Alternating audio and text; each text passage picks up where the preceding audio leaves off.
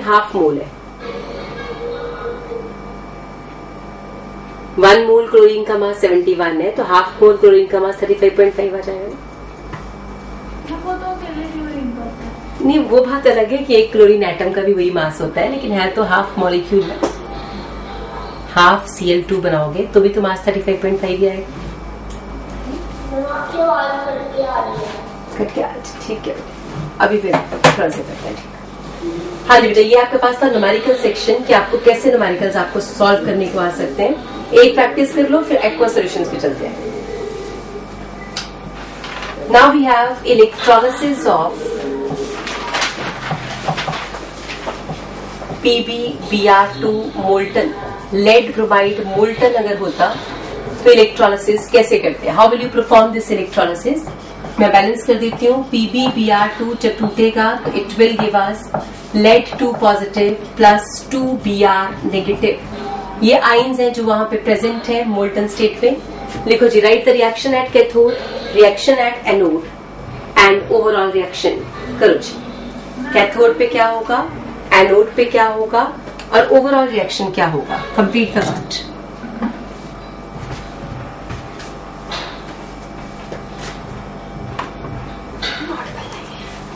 Now electrolysis of lead bromide. कैथोड पे reaction समझ आ गया? कोई डाउट तो नहीं किसी का भी?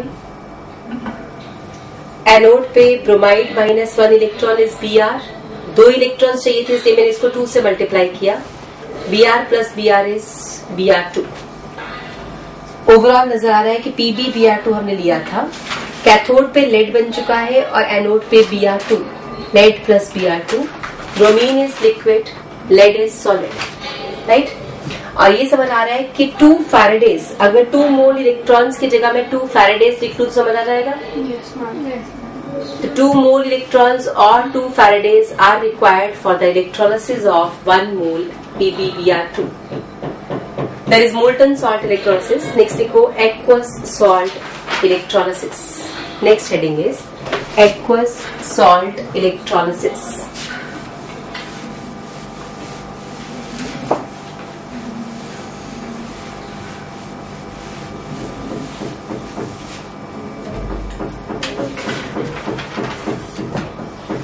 aqueous salt electrolysis.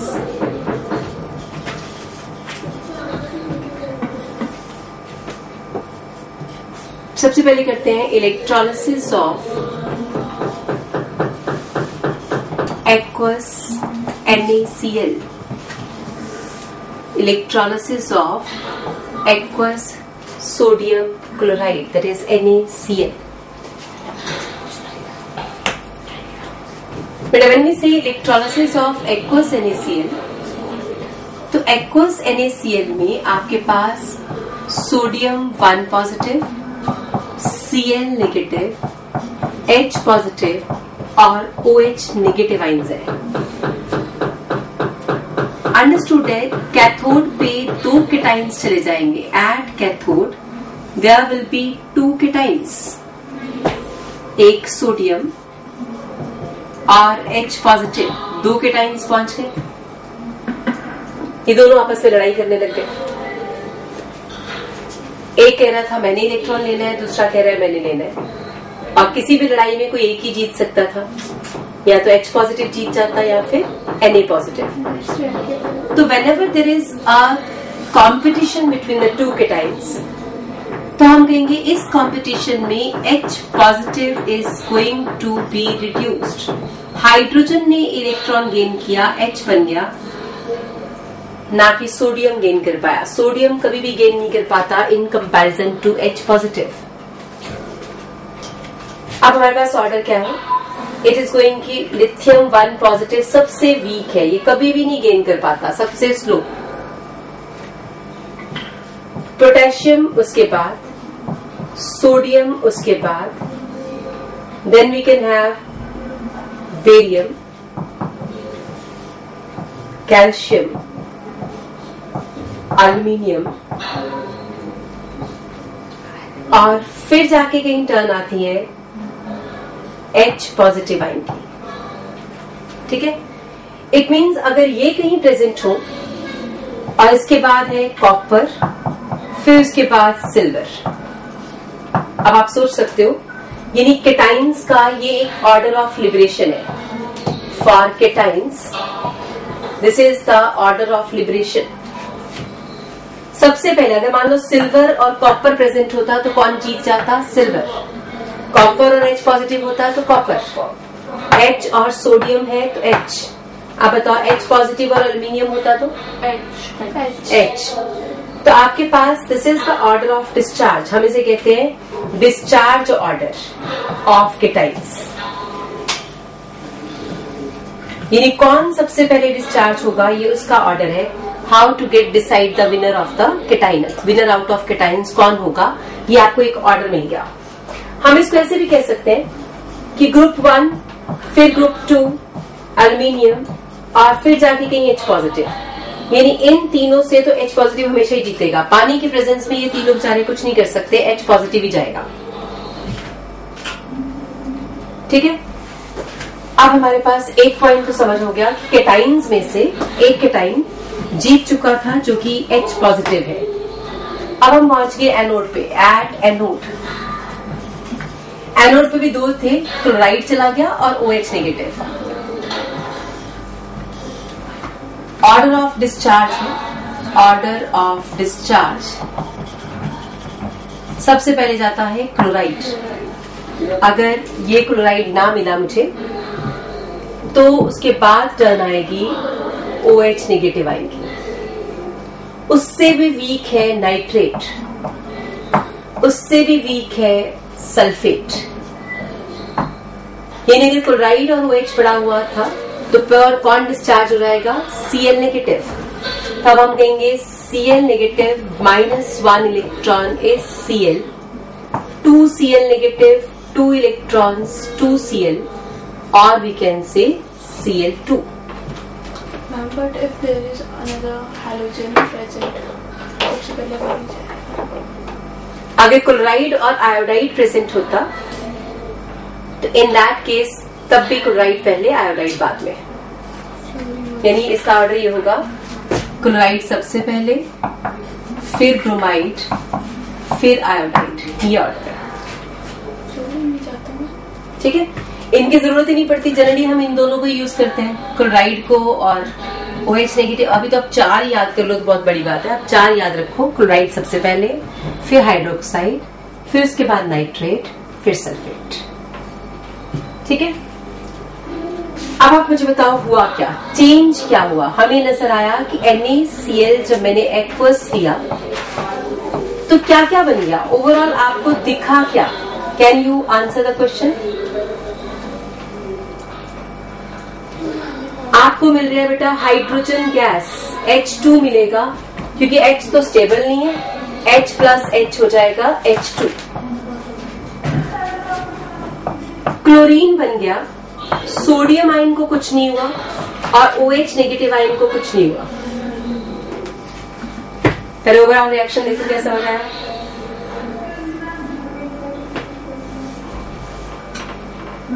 हाँ जी बेटा। एच नहीं एस तो लिख नहीं सकते थे, तभी तो मैंने ये कर दिया ना, H plus H S H two वहाँ पे भी तो आपने कहा था कि एच टू नहीं लिख सकते। कब मैंने कहा एच टू नहीं लिख सकते? पीछे कब कहा? टू एच पॉजिटिव नहीं लिख सकते। और जैसे ये एन एस सी एल है N A positive and C L two negative में हो गया? सी एल टू नेगेटिव क्यों है? Positive C L one negative नहीं क्लोरीन पे वन नेगेटिव होता है टू नेगेटिव वन नेगेटिव फिर? तो सी एल टू भी बनाई है बैलेंस नहीं किया अभी तो बैलेंस का है। आ जाएगा। अब आपके पास this is NaCl giving hydrogen chlorine and sodium hydroxide यहाँ पे अगर आप टू लिखोगे तो ये आ जाएगा two NaOH Cl2 and hydrogen अब बैलेंस्ड है? आप चाहो तो यहाँ पे एक वाटर ऐड करके चेक कर सकते हो कि बैलेंस हो रहा है कि नहीं। देख लो। हुआ बैलेंस ठीक है जी बैलेंस नहीं था ना बेटा? जब तक मैं बैलेंस नहीं करूँगी तो बैलेंस कैसे हो जाएगा? बैलेंस तो खुद ही कर करना two N A C L plus two water we get hydrogen chlorine and two N ठीक है?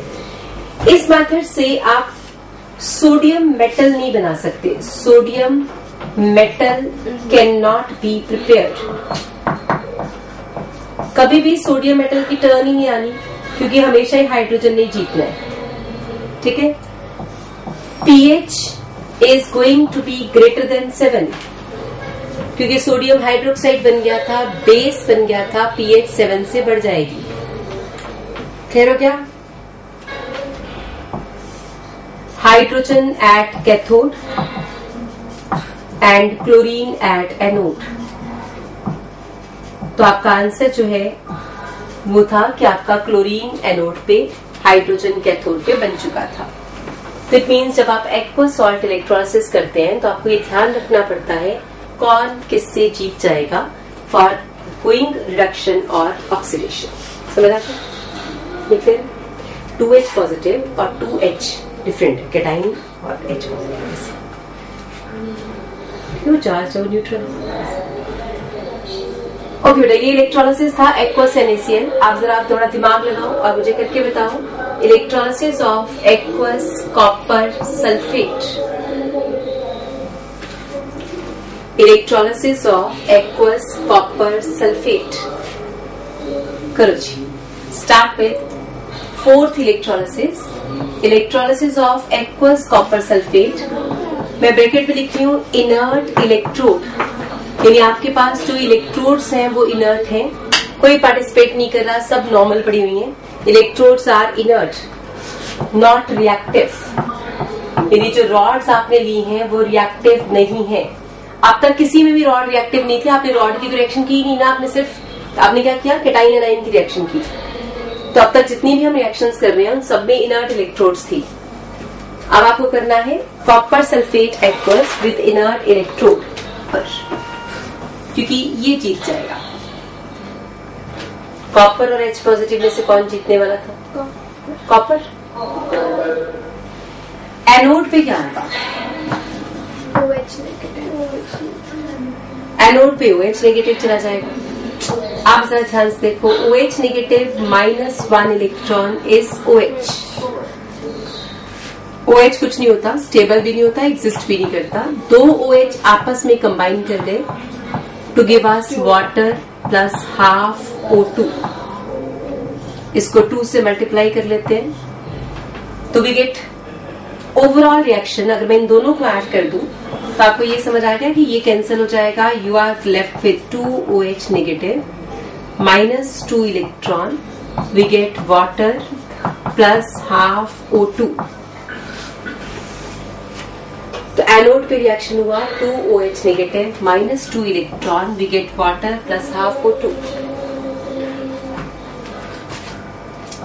ये copper two positive blue colour का सोल्यूशन था। तो हम कहेंगे ब्लू कलर धीरे धीरे डिसअपेयर हो रहे ब्लू कलर डिसअपियर्स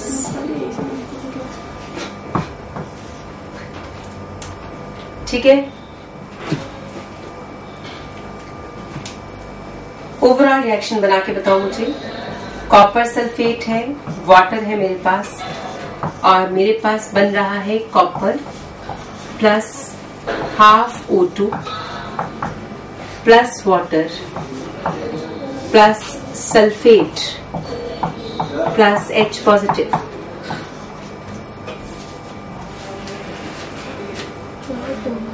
हाँ जी तो बोलो। हाँ जी। हाँ इलेक्ट्रोड प्लेटिनम हो सकती है ग्रेफाइट हो सकती है। ठीक है कार्बन रॉड हो सकती है, जो रिएक्ट नहीं करती। ठीक है। अब आपने मुझे सोच के बताना है कि आपको इतना ओवरऑल रिएक्शन लिखना आ गया। बैलेंस कर सकते हो आप चेक कर लो बैलेंस होगी कि नहीं। मेरे हिसाब से तो बैलेंस बैलेंस्ड दोनों साइड पे charge neutral zero zero charge copper copper balanced hydrogen hydrogen balanced oxygen balanced sulphate balanced. My question is blue colour disappear हो रहा है ऑक्सीजन प्रोड्यूस हो रही है। पीएच का क्या होगा? पीएच सेवन से कम हो जाएगी कि सेवन से बढ़ जाएगी? बढ़ जाएगी। नहीं कम होगी क्योंकि यहाँ पे ये क्या चीज़ है? What is this H two S O four ही हुआ ना? कम हो जाएगी टू एच पॉजिटिव और सल्फेट मिलके क्या बनाएँगे? सल्फ्यूरिक एसिड तो pH is going to be less than seven pH seven से कम होना शुरू हो जाएगी। समझ आया? करो जरा electrolysis of aqueous silver nitrate अब आपने मुझे करके दिखाना है। Electrolysis of electrolysis of aqueous silver nitrate तो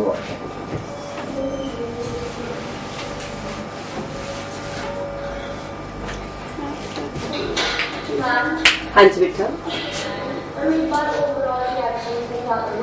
ओवरऑल रिएक्शन में जो चीज़ आपने डाली है ना पहले तो वो लिख लो कॉपर सल्फेट और एक्वस का मतलब वाटर डाला हुआ है। ठीक है?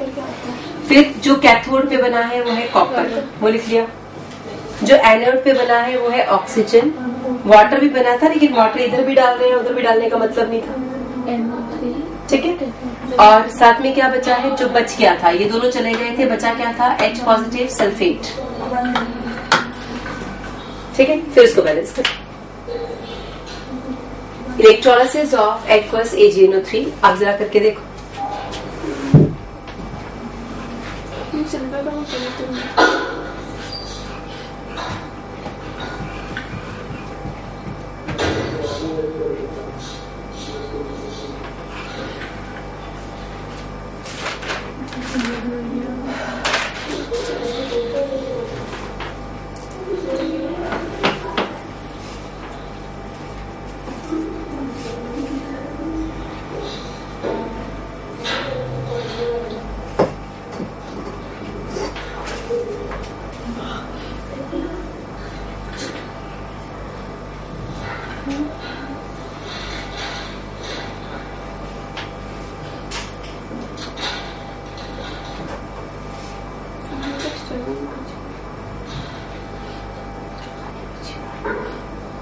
नेक्स्ट पेज हाँ समझ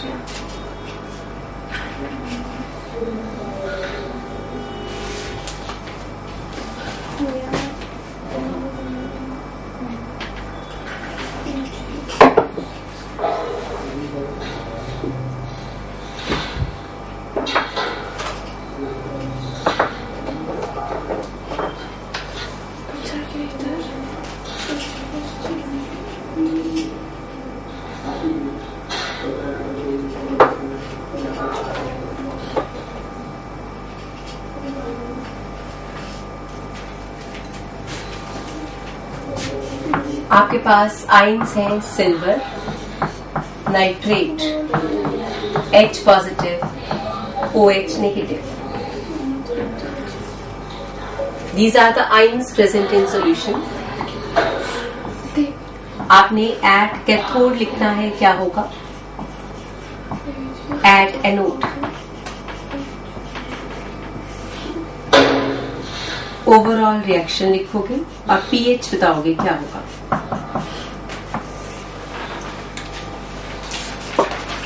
दोबारा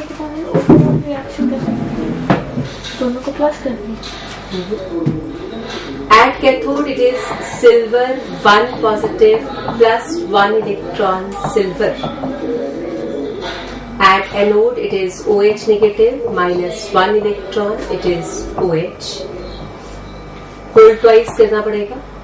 Because O H plus O H we get water plus half O two Add the two reactions OH OH cancelled we are getting 2 OH negative minus 2 electron. It is water plus half O2. Overall reaction फिर से सीख लो कैसे लिखते हैं जो चीज़ डाली है वो लिखो लेफ़्ट पे सिल्वर नाइट्रेट एंड वाटर ठीक है जी उसके बाद आपके प्रोडक्ट्स क्या हैं एक तो सिल्वर एक आपके पास है ऑक्सीजन वाटर को हम इसलिए प्रोडक्ट नहीं ले रहे क्योंकि आपने उसको रिएक्टेंट भी लिया हुआ है। कैंसिल हो जाएगा ना? प्लस जो बच गया था, क्या बचा था आपके पास? एच और N O three H N O three चाहो तो आप H positive N O three negative लिखो. चाहो तो आप एच एनओ थ्री लिख. दो आपकी मर्ज़ी. अगर मान लो इसको बैलेंस करते हैं now try to balance the reaction करो जरा. Silver 1 balanced, nitrate 1 balanced, half O2 balanced. It should be 2H positive. with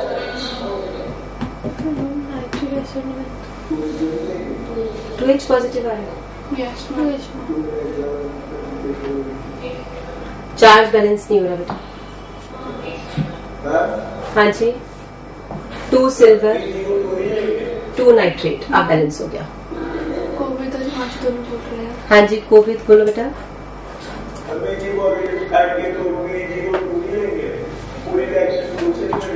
हाँ ये टू से मल्टीप्लाई मैंने बैलेंसिंग में कर लिया आप वहाँ पे भी कर सकते हो आपकी मर्ज़ी जैसे यहाँ पे टू इलेक्ट्रॉन्स आ रहे हैं टू इलेक्ट्रॉन्स आर देयर तो आप एजी वाली भी टू इलेक्ट्रॉन्स करोगे तो चार्ज अगर मान लो हम पहले जैसे बैलेंस करते हैं तो charge is not balanced reaction balance करने के लिए मुझे तब भी टू एजी एनओ थ्री लिखना ही पड़ना था।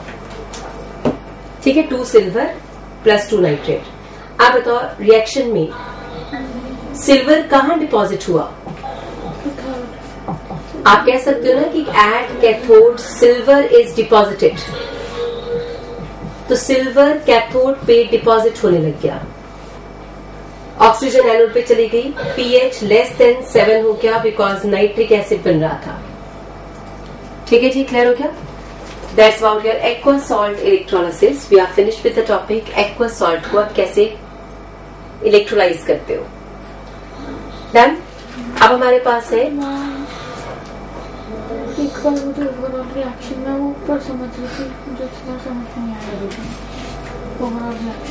ओवरऑल रिएक्शन में रिएक्टेंट तो वही है जिसको आपने डाला एक्वा सिल्वर नाइट्रेट उसको तो कुछ नहीं करना ना silver nitrate plus water product cathode में सिल्वर प्रोडक्ट है तो सिल्वर टू है तो आप टू सिल्वर लिख सकते हैं। एनोड में हाफ़ और two is the product. Water आप चाहो लिख सकते हो लेकिन कट जाएगा। सेम है। टू एच पॉजिटिव यहाँ ये एच पॉजिटिव बचा ही रहेगा। नाइट्रेट भी बचा रहेगा। एच पॉजिटिव नाइट्रेट ये दो चले गए ना आपने इसको निकाल दिया इसको निकाल दिया ये दो तो वहीं पर है। ठीक है आप इसको बैलेंस किया। Two A G N O three क्योंकि टू ए जी बनाना चाहते हो। जब नाइट्रेट दो बार है तो यहाँ पे भी दो बार नाइट्रेट आएगा। फिर आपने इसको बैलेंस कर लिया। ठीक है जी समझ आ गया okay now it is six है आपके पास। Electrolysis with participating electrode electrolysis with participating electrodes six topic we have is electrolysis with participating electrodes.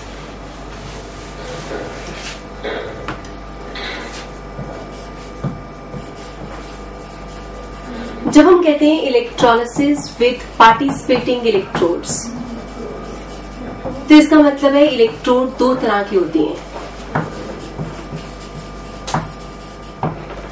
हम कहेंगे इलेक्ट्रोड्स को दो कैटेगरी में डिवाइड कर लेते हैं वैसे तीन कैटेगरीज होती हैं। एक तो मरकरी लिक्विड है, फिर भी इलेक्ट्रोड होती है। एक हमारे पास होती है inert electrode inert electrode inert electrodes होती हैं लाइक प्लैटिनम ग्रेफाइट वो जो कभी रिएक्ट नहीं करती। नॉट रिएक्टिंग जस्ट कंडक्शन इनका काम है, वो इनका काम है इलेक्ट्रॉन को इधर उधर देना, बस कुछ नहीं करेंगे, खुद अपना कोई चेंज नहीं करती।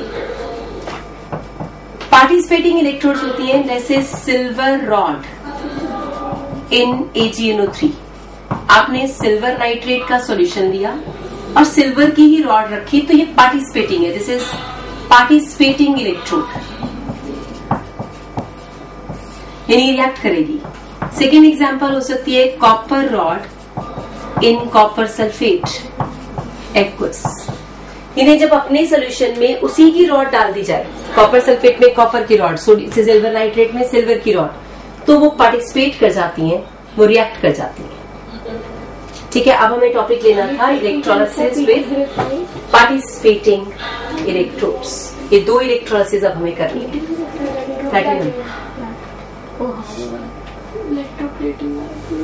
ठीक है करें। ये पॉइंट समझ आ गया कि इलेक्ट्रोड का मतलब था वो जो दो रॉड दो रॉड सी टांग दी थी। अगर तो वो दो रॉड वैसे ही पड़ी हुई है, इनका कोई काम नहीं है, सिर्फ़ इलेक्ट्रॉन को देना लेना इनका काम है तो हम कहते हैं इनर्ट ठीक है? मरकरी एक लिक्विड इलेक्ट्रोड है, इसको अलग से लिखते हैं हम लोग। और मरकरी की खास बात यह है कि अगर मान लो सोडियम और एच पॉजिटिव मरकरी पे आ जाए तो सोडियम जो है वो कैथोड पे चला जाता है। यानी मरकरी के ऊपर स्पेशल केस है कि मरकरी पे सोडियम और एच पॉजिटिव में से sodium will go to cathode सिर्फ़ मरकरी एक ऐसी रॉड है या ऐसा इलेक्ट्रोड है जिसमें सोडियम एच पॉजिटिव से जीत जाता है। ये उसकी खास बात है। ठीक है? या आप आगे जब एस ब्लॉक करोगे ना एस ब्लॉक में जब सोडियम मेटल बनाएँगे, तब ये टॉपिक करेंगे। अब हमारे पास है पार्टिसिपेटिंग इलेक्ट्रोड पहले करते हैं copper sulphate aqueous with copper rods तो पहला एग्जांपल हम ले रहे हैं copper sulphate aqueous with copper rods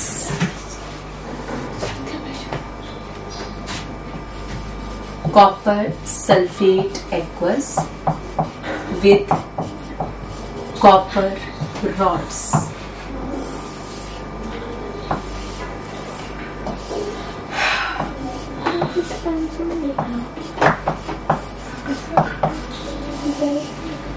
अब हमने क्या किया? इधर भी कॉपर की रॉड ली, थोड़ी मोटी सी। ये भी कॉपर की रॉड ली। फ़र्क सिर्फ़ इतना है, जो मोटी वाली रॉड है, वो इम्प्योर है। और जो पतली वाली रॉड है, वो प्योर है। है दोनों कॉपर की। एक इम्प्योर कॉपर है और एक प्योर कॉपर सॉल्यूशन हमें कहा गया था कॉपर सल्फेट का डाल दो। Copper sulphate aqueous copper sulphate aqueous blue colour का सॉल्यूशन है। यानी हमने एक ब्लू कलर का सॉल्यूशन डाल दिया।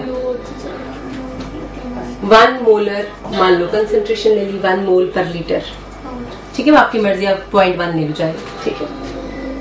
अब जब हम एनोड और कैथोड में करंट पास करेंगे तो आप बताओ आपके पास है कौन कौन you have copper two positive you have sulphate H positive H negative and copper क्योंकि वो भी रिएक्ट कर रहा है।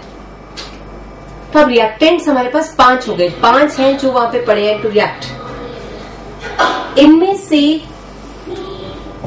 दोनों कॉपर काम के हैं, बाकी सारा पानी में रह जाएगा।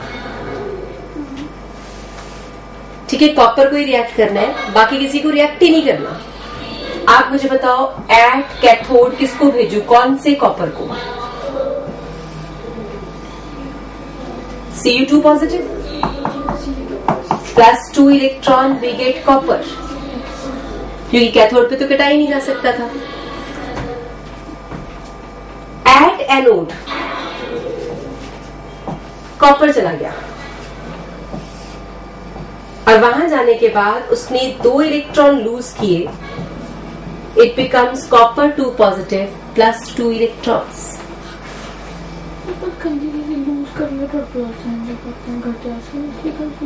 colour of solution क्या होगा? Colour of solution colour of solution colour of simulation remain same ठीक है करेक्ट हो गया। अब बताओ यहाँ से कॉपर और कॉपर टू पॉजिटिव जरा सोच के देखते हैं। एक कॉपर टू पॉजिटिव एनोड से कॉपर जो है वो कॉपर टू पॉजिटिव बना।